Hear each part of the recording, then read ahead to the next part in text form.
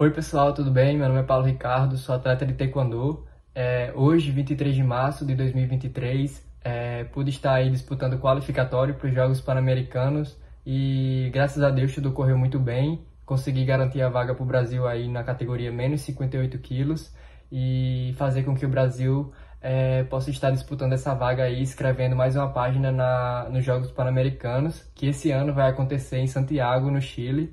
E é isso, estou muito feliz aí com essa conquista, é, de poder estar tá contribuindo para o taekwondo brasileiro mais uma vez. E agora é só seguir trabalhando, que o nosso, nosso ano está repleto de, de desafios. É, nesse primeiro semestre aí ainda tem campeonato mundial, que é uma competição mais importante que vai definir muito aí nosso ciclo. E os Jogos Pan-Americanos vai acontecer é, no segundo semestre, é, entre os dias de 20 de outubro a 5 de novembro. Então, fiquem ligados, acompanhem aí o Taekwondo Brasileiro e muito obrigado.